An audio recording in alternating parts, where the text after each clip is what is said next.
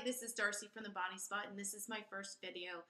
Um, as you probably noticed, I've taken a break from vlogging. I just started, and then I had to stop kind of abruptly due to starting a new job, and then as well as just focusing on my baby. So um, now I'm back, and I want to talk about um, some new initiatives in my life, and um, one initiative, and that is to kind of incorporate running um, into my life again. I used to be an avid runner ran when I was younger and competitively, and then kind of got burnt out in high school. Played volleyball in college, and um, some halfway through my college career, I took a focus on academics and still needed something competitive in my life. And so that's when I met a friend who was doing the same, and we trained for our first marathon in 2006. And um, during that time, uh, marathons weren't too popular. Um, Runner's World even had free uh, training programs at that time, so that is kind of testament to um, the popularity at the time.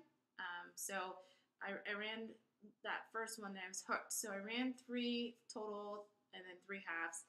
And somewhere along training for my last um, marathon in hopes of qualifying for the Boston Marathon, um, I injured my hip. I ended up getting a, a labral tear anterior to posterior in my right hip. And so I've really not been able to run too much. Um, I unfortunately had to like do a couple years of physical therapy, and I'm finally in a good spot where I can begin training again. But I have to be very careful because my day-to-day activities um, can actually injure my hip. Doing a lot of um, training, um, strength and conditioning training as well, um, to help me kind of stay.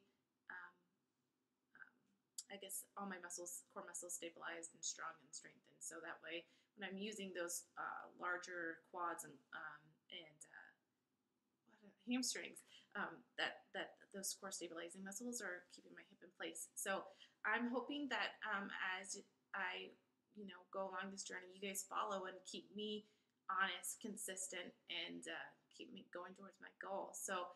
I look forward to hearing your running stories as well. Um, I, again, I'll be blogging about my favorites, beauty products, as, uh, as well as fashion and um, motherhood. Um, but I'm going to be adding in um, running so it'll be an integral part of my blog. So stay tuned. Uh, look forward to hearing from you guys. Bye.